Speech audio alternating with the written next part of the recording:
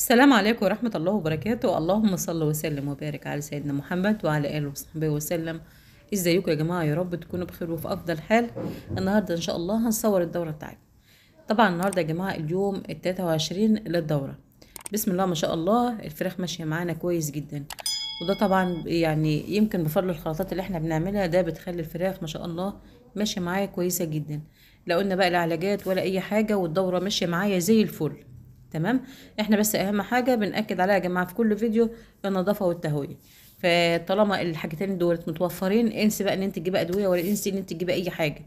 فكل الخلطات اللي إحنا بنعملها ديت بسم الله ما شاء الله هتمشي معاك الفرخ زي الصاروخ يعني هتخليه دايما على طول في الزيادة. الناس اللي بتقول لهم مش هيماء وصفاتك ما شاء الله جابت نتيجة أنا فعلا والله يا جماعة ببقى مبسوطة. أي حد بيقول له مش هيماء الوصفات جابت معايا نتيجة كويسة فعلا والله ببقى مبسوطة. إحنا بقى مش عايزين لا علاجات ولا أي حاجة من دي خالص. تمام؟ زي ما أنتم شايفين بسم الله ما شاء الله الفراخ كل يوم تحس كده إن هي بتكبر عن اليوم اللي قبله. زي ما أنتم شايفين الدورة يا جماعة بس ما فوتش يعني هو يعتبر أنا ما فوتش ولا يوم إلا ما صورتها معاكم. كل يوم بتكبر قدام عينكم لغاية ما وصلت معايا بسم الله ما شاء الله للحجم ده. يعني بإذن الله كلها أسبوع كده ونقوم ونقوم ذبحين يعني ممكن تذبحها على شهر ممكن تد... طبعا يعني في ناس بتذبح على شهر في ناس بتذبح على خمسة وتلاتين في ناس بتذبح على أربعين. يعني يمكن أنا عن نفسي يا جماعة بذبح على أربعين يوم. على ما الفرخ يبدأ إن هو يستوى شوية يبقى حلو.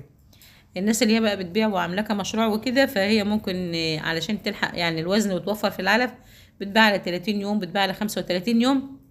ممكن الفرخ يبقى اتنين كيلو ونص حلو برضو مش هيخسر معاه أما الناس اللي عايزة وزن أعلى بقى ممكن تبقى على أربعين يوم ما شاء الله هيديك أوزان عالية جدا. لأنه طبعا زي ما أنتم عارفين الفرخ في الصيف يا جماعة بيبقى خلاف الفرخ في الشتاء. الفرخ في الشتاء ما شاء الله بتبقى أوزانه عالية يعني وكويس جدا لأن ليل نهار بياكل متواصل أما الفرخ الصيف بقى يعني بيبقى معظم شربه طول النهار مية. يا دوبك الأكل بتاعه بيبقى بالليل قليل قوي لما بياكل بالنهار علشان كده الأوزان بتاعته ما بتبقاش يعني إلا هي. فإن شاء الله الدورة دي بإذن الله يا جماعة بقى إن شاء الله هنحاول إن إحنا يعني بفضل الخلطات اللي إحنا هنعملها تدينا أوزان كويسة جدا. أنا النهارده عاملة خلطة حلوة قوي. يعني ما شاء الله. يمكن أنتوا ما شفتوهاش معايا من بداية الدورة.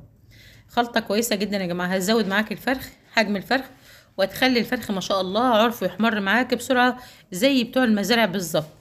الناس اللي كانت بتقول لي انت جايبة الفراخ ديت من المزرعة وبتصوريها اللي لما لقيت العرف بتاعها بسم الله ما شاء الله أحمر الخلطات يا جماعة اللي إحنا بنعملها ديت ده بتخلي الفرخ بسم الله ما شاء الله عرفه ووشه يحمر ويبان على الصحة. وإن شاء الله هتشوف الخلطه اللي أنا هعملها دلوقتي أنا مدخلة فيها إيه؟ علشان كده تبص تلاقي ما شاء الله الفرخ يبقى بيزيد معاكي وكمان حلو قوي المشاكل المعوية ومشاكل البرد كويسة جدا. علشان طبعا الطشمة والحاجات ديت يعني هي يعتبر شاملة إيه كل حاجة. الوصفة اللي أنا عاملاها النهارده دي إن شاء الله شاملة كل حاجة.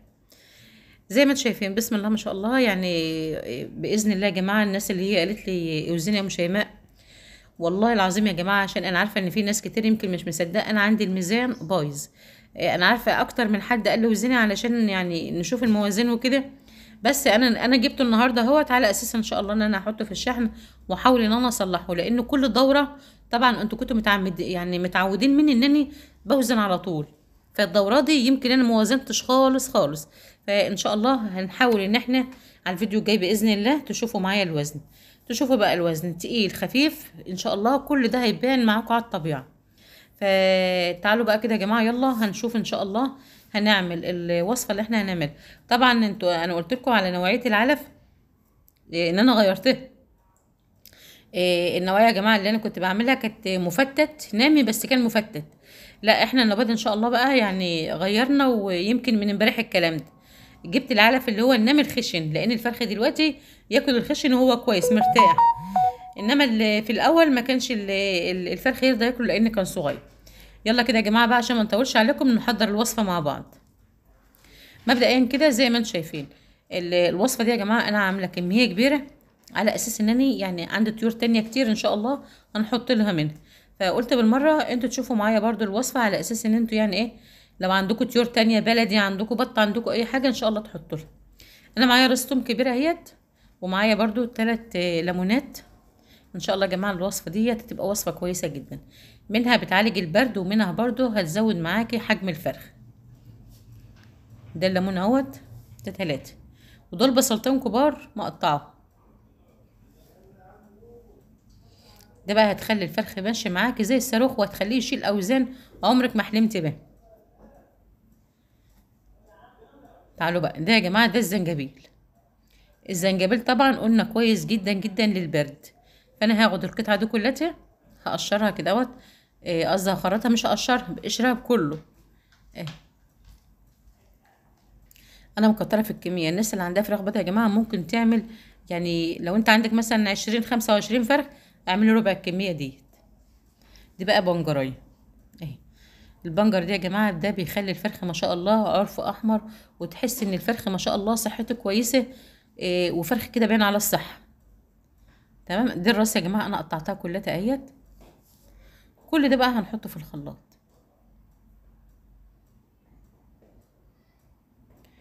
هننزل عليه كده برتل مية.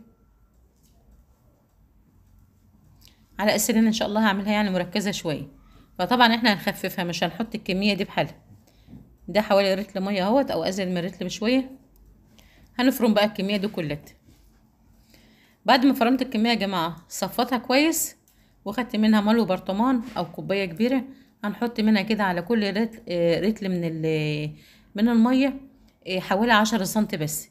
أنا معايا السقايه دي يا جماعة ده بتاخد أربعة رتل مية. يعني أنا هحط حوالي نص الكوباية أو البرطمان اللي معايا ده.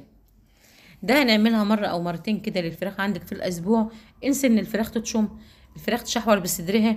الف... إيه أنا عندي الفرخه عندها خرفشة. كل المشاكل ديت هتنتهي معاكي بمجرد إن أنت هتعملي ال... الوصفة دي مرة أو مرتين في الأسبوع.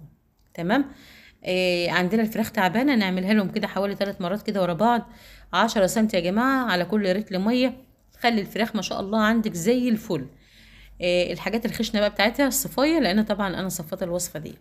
هنقلبها لهم برضو كده على العلف الفرخة ياكل منها فيها توم فيها بصل فيها زنجبيل فيها بنجر الفرخة ياكل وما شاء الله هتخليه صحته زي الفل.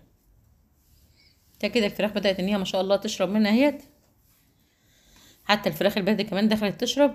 ده يا جماعة العلف أهو. ده النام المفتت. هناخد منه معلقتين بقى من الخلطة اللي أنا عملتها ديت هناخد منها معلقتين.